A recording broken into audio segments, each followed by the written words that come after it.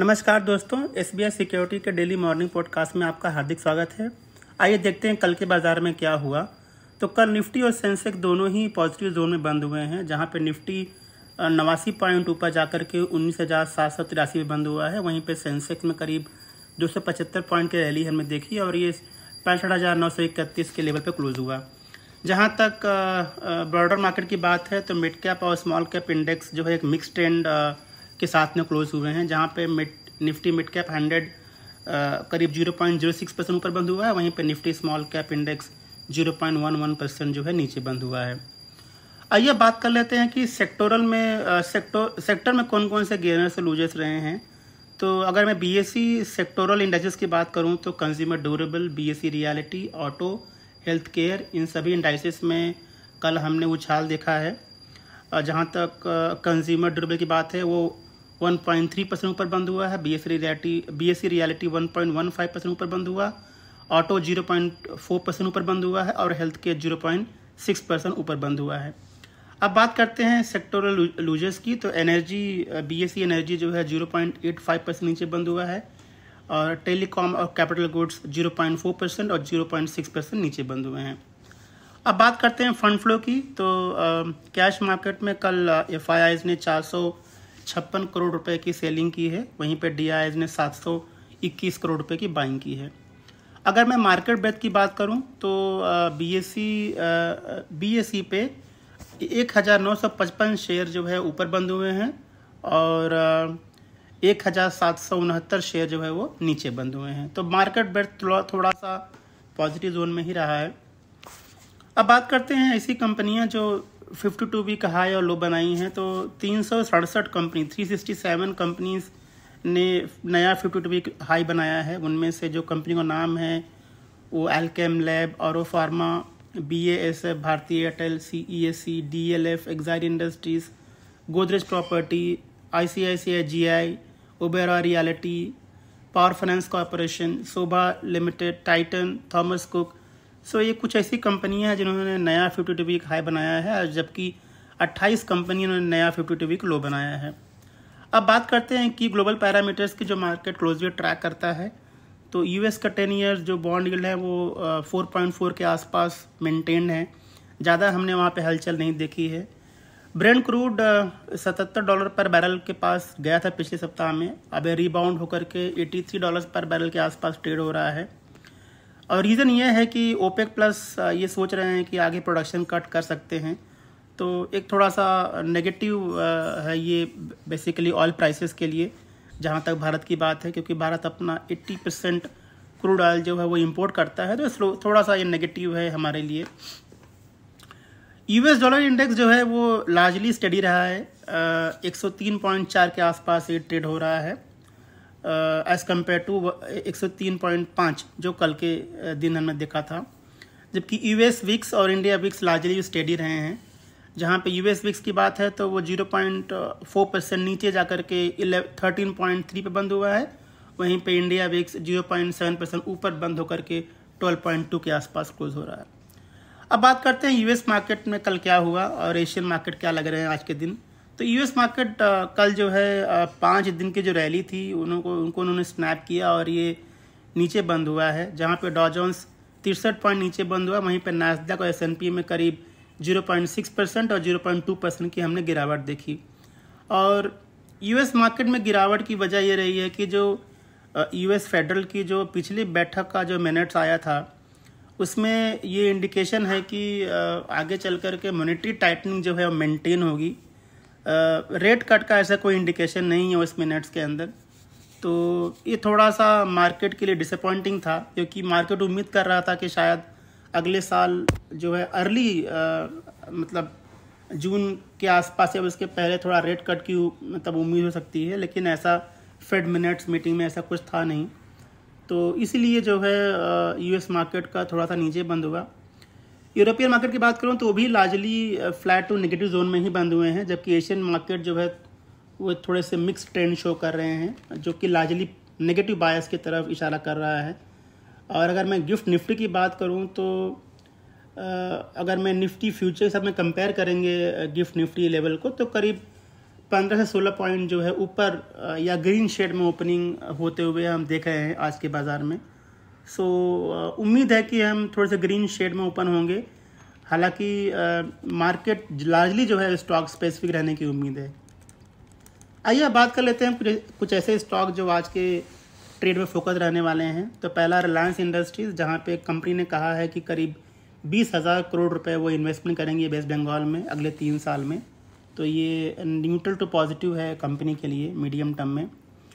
T C S T C S focus रहने वाला है जहाँ पे टी सी एस जहाँ पे यूएस के सुप्रीम कोर्ट ने कंपनी की पिटिशन को रिजेक्ट कर दिया है। और ये केस जो है करीब एक सौ एक सौ चालीस मिलियन डॉलर का जो है डैमेजेस का केस है, जो इंटेलेक्चुअल प्रॉपर्टी राइट के वायलेशन को लेकर के है, जो इनका, जो टीसीएस का केस जो है इपिक सिस्टम के साथ में चल रहा था। तो प्रीवियस कोर्ट वर्डी को टीसीएस ने जो है अपील किया था सुप्रीम कोर्ट में, जो वहाँ से भी उनको थोड़ा सा झटका लगा है। तो 140 मिलियन डॉलर में उन्होंने कुछ प्रोविज़न ऑलरेडी कर दिया है और बाकी का 125 मिलियन डॉलर जो है इस कंपनी को प्रोविज़न करना पड़ेगा जब उनके क्वार्टर तीन के रिज़ल्ट आएँगे। तो ये थोड़ा सा नेगेटिव है टीसीएस के लिए। मारुति फोकस में रहने वाला है, जहाँ पे कंपनी ने कहा है कि वो सुजुकी मोटर कॉरपोरेशन को one point two three crore share जो है प्रेफरेंशियल बेसिस पे इशू करने वाले हैं। सो न्यूट्रल टू पॉजिटिव है मारुति के लिए। जियो फाइनेंशियल ने कुछ रिपोर्ट्स को डिनाई किया है कि उन्होंने कोई बॉन्ड इशू किया है। तो ये उतना सिग्निफिकेंट न्यूज़ नहीं है, ये न्यूट्रल न्यूज़ है जियो फाइनेंशियल्स के लिए। के इंटरनेशनल को अलग अलग क्लाइंट से एक हज़ार पाँच करोड़ रुपए का ऑर्डर मिला है। तो ये पॉजिटिव है के इंटरनेशनल के लिए लॉन्ग टर्म में। टैक्समो रेल इंजीनियरिंग फोकस में रहने वाला है, जहाँ पे कंपनी के बोर्ड ने क्यूआईपी के लिए अप्रूवल दे दिया है और जिस प्राइस पे इशू करेंगे वो है one thirty six rupees per share, जो कि कल के क्लोजिंग से करीब नाइन परसेंट डिस्काउंट पे है। तो ये न्यूट्रल टू पॉजिटिव है टैक्समो रेल के लिए। बीपीसीएल की बोर्ड बैठक होने वाली है उनतीस नवंबर को, जहाँ पे वो इंटरम ड्यूडन को जो है वो कंसिडर करने वाले हैं। तो एक पॉजिटिव है बीपीसीएल के लिए। विप्रो फोकस में रहने वाला है, जहाँ पे कंपनी ने इनविडी के साथ में एक कोलाब्रेशन को अनाउंस किया है। और आगे चल कर के ये हेल्थ केयर कंपनीज़ को हेल्प करने वाले हैं। Generative I generative AI adoption के लिए। सो पॉजिटिव है विप्रो के लिए लॉन्ग टर्म में। जीनस पावर ने दो सब्सिडरीज इनकॉपरेट की है एक हिमाचल में और एक उत्तराखंड में। सो so, ये थोड़ा सा पॉजिटिव है लॉन्ग टर्म में जीनस पावर के लिए। G M R power and urban infrastructure भी जो फोकस पर रहने वाला है जहाँ पे कंपनी ने उनकी सब्सिडरी में करीब उनतीस परसेंट का एडिशनल स्टेक अक्वायर किया है। अट्ठाईस पॉइंट फाइव मिलियन डॉलर की डील के साथ में। और अभी जो उनका स्टेक है उस कंपनी में वो बढ़ करके एटी सेवन परसेंट हो गया। सो न्यूट्रल टू पॉजिटिव है G M R power and urban infra के लिए। आइए बात करते हैं प्राइमरी मार्केट के लिए। तो प्राइमरी मार्केट में चार आज कंपनियाँ खुल रही हैं सब्सक्रिप्शन के लिए, जिनके आई ओपन हो रहे हैं। तो पहला है टाटा टेक्नोलॉजीज़ लिमिटेड। इस पर हमारा बाय रेटिंग है सब्सक्राइब रेटिंग है और ये प्राइस बैंड 475 से 500 के बीच में इसका प्राइस बैंड है और कंपनी करीब तीन हज़ार करोड़ रुपए रेस करने वाली है। वैल्यूएशन काफ़ी अट्रैक्टिव है। हमें लगता है कि इन्वेस्टर को सब्सक्राइब करना चाहिए। फेड बैंक फाइनेंशियल भी फोकस में रहने वाला है। इसका आई पी ओपन हो रहा सब्सक्रिप्शन के लिए। और कंपनी करीब एक हज़ार करोड़ के आसपास पैसा रेस कर रही है, जिसमें से छः सौ करोड़ रुपया ऑफ़र फ्रेश इशू है और बाकी का जो है ऑफ़र फॉर सेल है।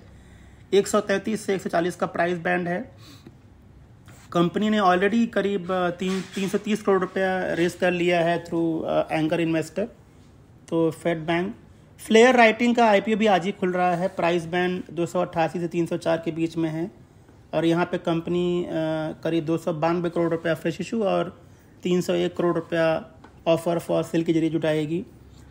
और चौथी कंपनी है गांधार ऑयल ये एक वाइट ऑयल मेकिंग कंपनी है जिनका इस्तेमाल अलग अलग इंडस्ट्रीज़ में होता है, जैसे एफ़ एम सी जी और यू नो फार्मास्यूटिकल्स में। तो ये काफ़ी यूनिक कंपनी है।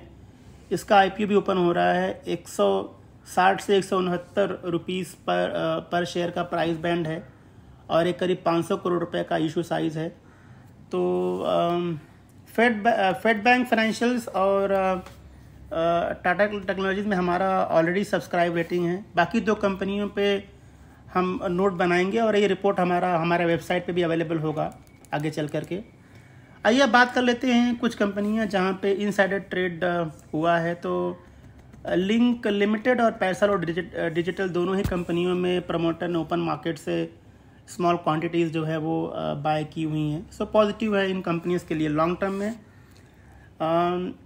कुछ कंपनियाँ शॉर्ट टर्म एएसएम ट्रेड में मूव की हैं कल के सेशन में।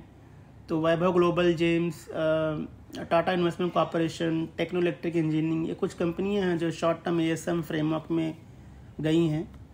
तो थोड़ा सा ये नेगेटिव हो सकता है इन कंपनीज़ के लिए।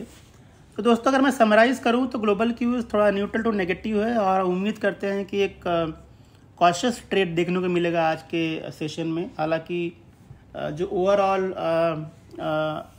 स्टॉक स्पेसिफिकेशन है, वो मेंटेन रहने की उम्मीद है।